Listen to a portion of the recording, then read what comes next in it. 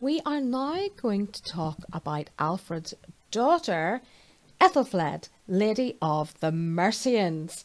Now, she was what we might like to think of in our age as a warrior queen, and you'll find her referred to as a warrior queen in popular culture and um, in certain literature, but she was so much more than that. Yes, she was a warrior and a military leader. She was also a great tactician, and she was a bit of a public relations expert as well. Her public relations expertise is shown by this portrayal of her by Henry of Huntingdon, written in the 12th century. And remember, Henry of Huntingdon was the guy that gave us the story of King Canute trying to turn back the tide. So he writes of her heroic elf Elfleda, great in martial fame, a man in valour, woman though in name. The warlike hosts thee nature too obeyed, conqueror o'er both, though born by sex a maid. Changed be thy name, such honour triumphs bring, a queen by title, but in deeds a king. Heroes before the Mercian heroine quailed, Caesar himself to win such glory failed. So she's really being bigged up here as the warrior queen, and it's basically saying she was so good in battle and in valour that she might as well have been a man. Obviously, doesn't sit very well with us um, to our modern ears, but it reinforces that in the medieval period, this was a very unusual thing. To have a woman who was a military leader and followed by men was something that was not common. Here is another description of uh, Ethelfled from William of Malmesbury, who was an Anglo-Norman chronicler. So no real need to be kind about the Anglo-Saxons, but he wrote that she was a powerful accession to Edward's party, her brother's reign the delight of his subjects, the dread of his enemies, a woman of enlarged soul. So she's the dread of his enemies. This idea of her being fearsome in battle, here you see her depicted with swords and spears, is, is a very common image of her, but also that she had an enlarged soul, that she was a spiritual woman. And that was something that was very much venerated in the medieval period.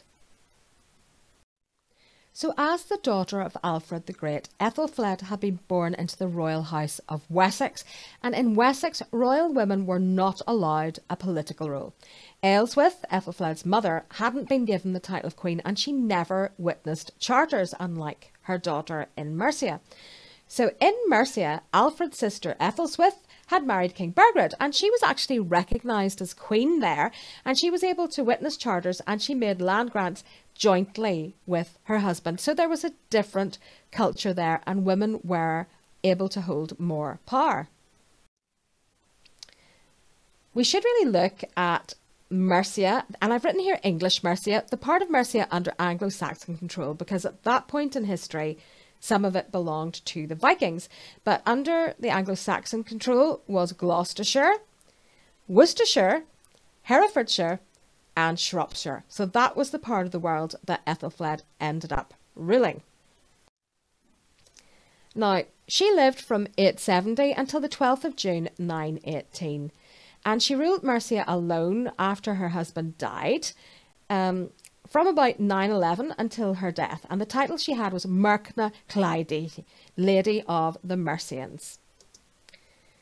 She was, of course, the daughter of Alfred the Great and Ealhswith, and she was wife of Ethelred, Lord of the Mercians. Now, Ethelred became Lord of the Mercians after Ceolwulf, who we've talked about previously, the puppet king controlled by the Vikings, was deposed and his lands carved up. We don't know an awful lot about Ethelred or his lineage or where he sprang up from. He may have been a bit of an opportunist, according to some historians, but he becomes Lord of the Mercians, although he acknowledges Alfred as his overlord. So Ethelfled, as we've mentioned before, is very much known for her military expertise, her support of the church, and also the support of her brother Edward the Elder's regime in Wessex. So he's ruling Wessex, she's ruling Mercia. They are a family to be reckoned with. So let's talk a little bit about Mercia after Alfred. And we know that Alfred was actually King of Wessex, but his life and times had some impact on Mercia as well, as we've seen. So after Alfred's victory at Edington in 878, the part of Mercia that was under Anglo-Saxon rather than Viking control came under Ethelred's rule. Ethelred began to rule Mercia after Ceolwulf was deposed, and we don't really know an awful lot about Ethelred, what his ancestry was, where he came from, why he had a right to rule. He's he's a bit of an enigmatic figure in that way, but he accepted Alfred as overlord. So Alfred cemented relations with Mercia and with Ethelred by marrying him to Ethelfled in the 880s, and Ethelred was actually a lot older than Ethelfled. Imagine that. That's such a power couple name, isn't it? Ethelred and Ethelfled. Like, pass the pork, Ethelfled. Certainly will. Do you want the sauce? Ethelred.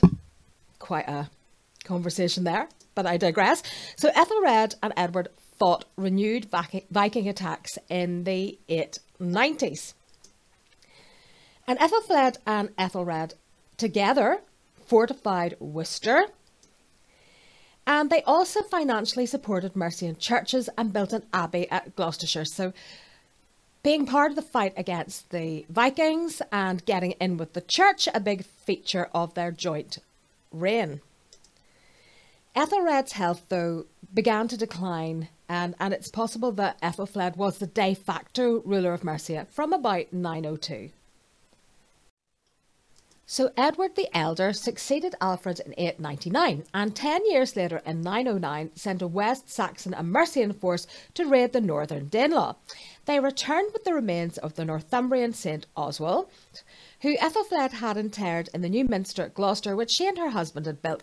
Now, this was a public relations triumph because St. Oswald was one of the founders of Anglo Saxon Christianity. And remember, the church was a very powerful force in Anglo Saxon society. Also, he was a royal saint. So, this association is very good for Ethelfled and Ethelred. So Ethelfled and Ethelred raised Edward's son and heir Ethelstan in their court, and Ethelstan was actually sent to them by Alfred so that he could be well educated. And chroniclers at the time commented that he was very well educated at Ethelfled and Ethelred's court. You can see Ethelstan's tomb to the bottom right. I know that seems a little macabre, but by looking at the tomb statue, we can get a fair idea of what he might have actually looked like. So Ethelred eventually died in 911, and Ethelfled became the official ruler of Mercia, the Lady of the Mercians. And the accession of a female ruler is described by the historian Ian Walker as one of the most unique events in early medieval history. We don't have an awful lot of female rulers that we know of from that time. And um, actually, Ethelfled passed the throne on to her daughter Elfwine when she died. We're going to hear a little bit about that in a moment. So when Ethelred died, Edward took control of London and Oxford. Quite major habitations, but Ethelfled probably conceded to this in return for recognition as the ruler of Mercia. So we have the sister ruling Mercia and the brother ruling Wessex. This is the Anglo Saxon power family. Ethelfled, as we mentioned, passed the throne to her daughter Elfwine, who actually only reigned from June to December 918 before being deposed by her uncle, Edward the Elder, who actually carried her off to Wessex. And we are not completely sure, but it seems quite likely that she entered holy orders and spent the rest of her life as a nun. So, Frank Stenton, the historian, has commented of Ethelfled, that it was through reliance of, on her guardianship of Mercia that her brother was enabled to begin the forward movement against the southern Danes that was the outstanding feature of his reign. He needed her where she was. Um, he obviously didn't have the same kind of relationship or place the same kind of faith in Elfwine. So let's talk about Ethelfled and Ethelred's relationship with the church, which was going to be a very important factor in the reign of an early medieval power couple. So Ethelfled and Ethelred granted the church at Worcester a half share of the rights of lordship, which meant that the church got a half share of the land rents and from the money that people had paid into the justice system, for example. So, in return, the cathedral was to dedicate a psalm to them three times daily and a mass and 30 psalms on Saturdays. Now, that might sound a bit strange to modern sensibility, and perhaps we might have a tendency to say, well, they must have done this for some kind of spiritual reason, believing that it got them closer to he- heaven. And that may be true, but it was also a public relations triumph, another public relations triumph, in that, you know, there wasn't Facebook in those days. So, how did you stay in people's minds? How did you stay in the public consciousness? How did you come across as saintly and a benefactor of the city? Well, this is how you did it. And we've mentioned before that Ethel Ethelfled is really a talented PR woman. In 904, Bishop Werfrith Worcester gave Ethelfled and Ethelred valuable land, which included land on the city's river frontage, which they were able to monetize pretty well.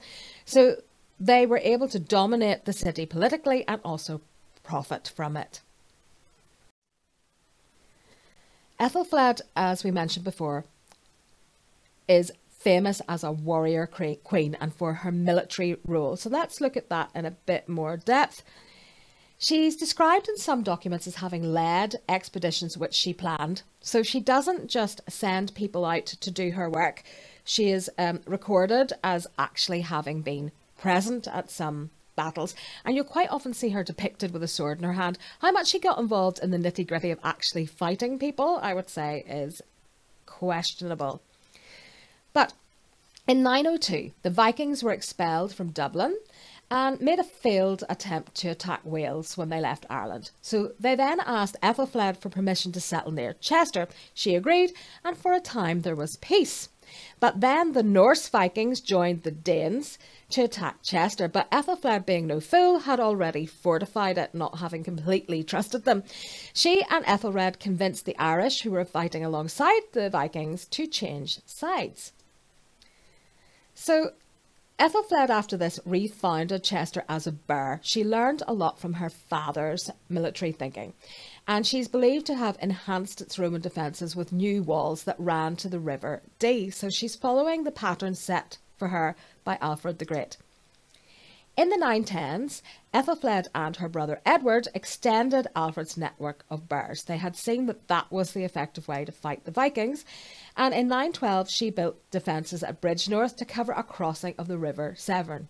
So again, her father's thinking of we have to block the rivers is coming through. In 913, she built forts at Tamworth and Stafford to guard against the Danes. So she's she's very strategic in the places that she chooses to fortify. And in 914, she raised a Mercian army from Gloucestershire and Hereford and repelled a Viking invasion. Eddisbury Hill Fort, which was an Iron Age fort, was repaired to protect against a Viking invasion that might come via Northumbria or Cheshire. And Warwick was fortified against the Danes at Leicester, so she's protecting her kingdom on every side. In 917, Ethelfled sent an army to capture Derby, and that was the first of the five boroughs of the Danelaw to fall to the Anglo Saxons. And this was a military triumph for Ethelfled, um, for which she is still remembered. In 918, the Danes in Leicester surrendered without a fight. And um, the Vikings in York also surrendered to her, possibly to secure her support against the Norse Vikings um, but she died before she could receive their oaths of fealty.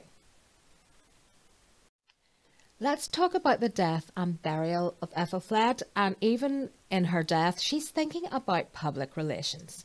So Ethelfled died on the 12th of June 918 at Tamworth. Um, not exactly sure what her cause of death was, but her body was carried for 75 miles, where she was buried alongside her husband at St Oswald's Minster, in Gloucester, which they had had built. So she was buried near the bones of the saint, and as we've mentioned before, he was a very important saint associated with the birth of Christianity in England and also with royalty. So this made her an important queen to be lying near the, the bones of a saint. Gloucester was also close to Wessex emphasising her descent from Alfred the Great and the royal house of Wessex. But it is not a land over which her brother had sway, so she's not subordinate to anybody. She is the queen. She was succeeded, as we said before, by her daughter Elfwin, who only reigned until December and was deposed by Edward the elder. That then united Wessex and Mercia, but the people of Mercia were not completely supportive of the union. Um, and there was actually a Mercian version of the Anglo Saxon Chronicle around the time. So they're trying to keep a sort of unique culture going. Let's talk about depiction in history. Here she is pictured from the BBC TV programme The Last Kingdom, which I'm going to admit I've only seen the first two episodes of so far, so I can't really comment on how they depict Ethelfled, but um, the BBC did do a brilliant programme recently called The Children of Alfred the Great. Um, I'm not sure if it's still on iPlayer, you might catch it on YouTube, but I'll try and see if I can find a link to it because it really was very good.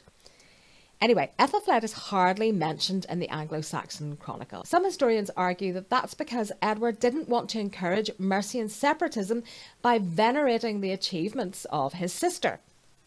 There is a Mercian equivalent to the Anglo Saxon Chronicle, which I mentioned before, and that's where we get most of our records of her reign. The Annals of Ulster, and this is an Ulster accent speaking to you at the moment, Northern Ireland, but the Annals of Ulster call her Famosissima Regina Saxones, the most renowned Saxon queen.